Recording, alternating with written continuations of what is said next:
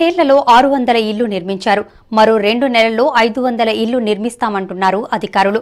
కొండపోచమ్మ సాగర్ నిర్వాసితులకు ప్రభుత్వం నిర్మిస్తున్న ఆర్ఎండ్ఆర్ కాలనీని త్వరగా పూర్తి చేసి రెండు నెలల్లో లబ్ధిదారులకు అందిస్తామని అధికారులు చెబుతున్నారు. అయితే ఇది ఎంతవరకు సాధ్యమవుతుందన్న దానిపై పలువురు సందేహిస్తున్నారు. కొండపోచమ్మ సాగర్ పనులు పూర్తి కావస్తున్న నేపథ్యంలో అధికారులు ముంపు గ్రామాలైన బైలంపూర్ మామిడియాల గ్రామాల పునరావాసంపై దృష్టి సారించారు. వారి కోసం ములుగు మండలం తున్కిబొల్లారం గ్రామంలో నిర్మిస్తున్న ఆర్ అండ్ ఆర్ కాలనీ పనులను తొందరగా పూర్తి కావాలని కాంట్రాక్టర్లకు తెలియజేశారు. దీనిపై పర్యవేక్షణకు పంచాయతీ ఏఈని సైతం ఆర్డీఓ విజయేందర్ రెడ్డి నియమించడంతో ఇళ్ళ నిర్మాణం పనులలో వేగం పెంచారు. నిర్వాసితుల్లో ఇల్లు కావాలన్న వారికి ఇల్లు తమ ఇల్లు తామే కట్టుకుంటామని తెలిపిన వారికి ఐదు లక్షల నాలుగు వేల రూపాయల చెక్కుతో పాటు ఫ్లాట్ను అందజేశారు రెండు గ్రామ పంచాయతీలకు కలిసి సుమారు పదకొండు వందల ఇళ్ళు నిర్మించాల్సి ఉండగా ఆరు వందల ఇళ్ళు మాత్రమే ఇప్పటి వరకు పూర్తయ్యాయి.